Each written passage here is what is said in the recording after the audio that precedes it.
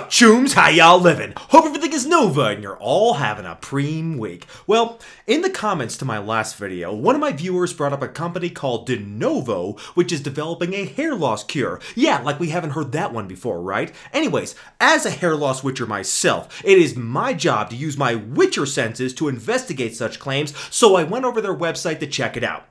So you can see it's a pretty slick website. It has huge, high resolution, professional looking photographs. It kind of reminds me of Tesla's website, in fact, except they are using models instead of cars. But it looks like what their mission is, is to market and fund a cure for hair loss in development that is based on stem cell therapy technology. So we've been hearing about stem cells for a long time now. What they are, are basically just generic prototype cells that can turn into any specific cell type in the body. So you can think think of stem cells as like a base clay you could then mold into any tissue you want, which gives it a tremendous amount of medical utility. Theoretically, a stem cell could be programmed to convert into a blood cell, a neuron, or a skin cell, or any other type of cell imaginable. There are stem cells in the skin, and some of these stem cells are specifically meant to regenerate hair follicles. In fact, with every hair cycle, hair follicle stem cells are crucial for regenerating the hair and restarting the hair cycle again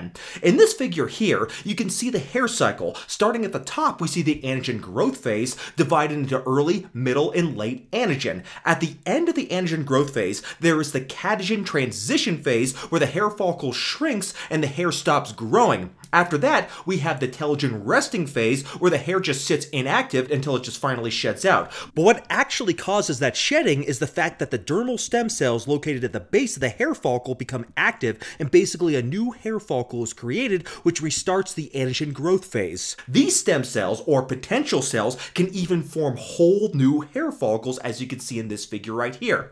So the goal of this dNovo company is to use these cells to regrow hair. Their website gives the impression that this is very easy, in fact. In fact, dNovo thinks that all this can be done following just these five easy steps. Step 1. Collect cells at their on-site facility. Step 2. Use dNovo's top secret formula to reprogram the cells. Step 3. Hair-producing cells are generated. Step 4. Put those hair-producing cells into the scalp. Step 5. Hair growth is visible in 1 to 3 months. Sounds easy, doesn't it? Well, not so fast, Chooms. There's one rather suspicious step that set off my bullshit meter, and that's step number two. This is the step where dNovo uses its proprietary formula to convert the harvested cells into hair-growing stem cells. Here's the key step from their website. Yes, the claim is, quote, for the first time, we can solve the root cause of hair loss permanently. We do this with our reprogramming technology developed by our team of Stanford PhD scientists. Unquote. So supposedly, by using just a piece of skin or a few drops of blood and then adding in the mysterious dNovo factors, this company claims they can generate your own personalized hair stem cells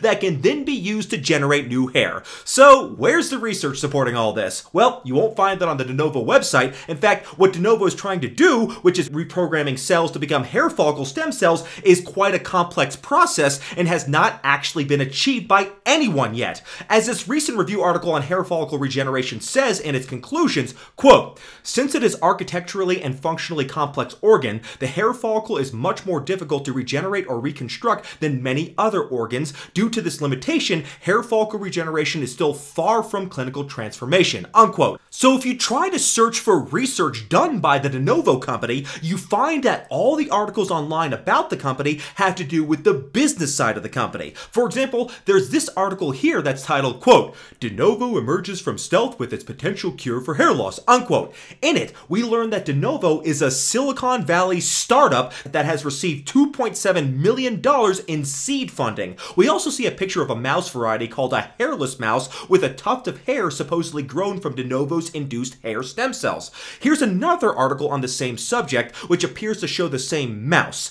These are supposedly human hairs, but if that's actually the case, then this mouse must also be totally immunosuppressed because under normal circumstances, foreign tissue like human hair follicles would be rejected by a normal mouse because of a mouse's T-body cells, which would recognize it as a foreign invader and then kill it. Even the author of the article seems skeptical. He says, quote, result of a transplant of what the company says are human hair stem cells, unquote Unquote. It turns out that there are dozens of companies working on this kind of stem cell research, and these companies attract millions and billions of dollars of investment income. dNovo is just one of these many companies. The article states dNovo has been able to grow human hair on a mouse, but there is no indication yet that they've been able to do the same thing in a human being. So is any of this encouraging news? How close is dNovo to getting their stem cell technique to work in humans? Well, Chooms, unfortunately, there is a reason that animal research is at the very bottom of the pyramid of scientific evidence. Although mice are frequently used as a model for human hair research, mice are not humans, and there are many differences in mouse hair physiology versus human hair physiology. This article here goes through some of the differences between mice and men. Here you can see in this figure that while humans have two types of hair, which include large pigmented terminal hairs and small non-pigmented vellus hairs, mice Mice, on the other hand, have at least seven different types of hair. Also, mice have a synchronized hair cycle that lasts just two weeks, while human hair cycles last normally three to six years. Though with androgenic alopecia, the hair cycle becomes much shorter than this, which along with the subsequent miniaturization of each hair cycle is the reason why androgenic alopecia causes hair loss. Speaking of androgenic alopecia, mice don't get it at all. Their hair follicles are totally resistant to the deleterious effects of the trash hormone DHT as opposed to humans where scalp hair in those genetically predisposed to it is destroyed by DHT. So if you want to cure hair loss, just become a mouse, bro! Also, on that note, there are differences in the type as well as the location of hair follicle stem cells in mice hair versus human hair. Finally, mouse hair is very thin with only three layers, while human skin is thicker with more layers. All this is just to point out that if a hair loss drug works in a mouse or stem cells regrow hair in a mouse, that doesn't necessarily translate into hair growth in human beings. In fact, although mice have been very useful in working out the mechanisms of the hair cycle, they haven't been very useful in developing hair loss therapies for humans. As this article points out here, quote, in fact, the FDA-approved drugs for hair loss treatment available so far, finasteride and minoxidil, were identified based on their side effects on human hair growth during clinical trials and not from studies in mice. It is thus possible that many hair treatment solutions developed over the past years and or still under development may fail due to the inadequacy of animal models, unquote. So the point is, don't celebrate too soon here, chooms. We're not mice, and just because something works in a mouse doesn't mean it's going to have good results in humans. This stem cell research may sound promising, but the research done so far in it doesn't even come close to resembling anything that can resemble a treatment for hair loss. In fact, I probably would just forget about this dNovo company altogether, because if Silicon Valley has taught us anything over the past several years, it is that they are not trustworthy. They tend to over-amplify, over-promise, and over-hype in order to drive up their market value in the stock market and get venture capitalists to invest in their company without solid data that their products work. Because frankly, they don't need to prove their products work.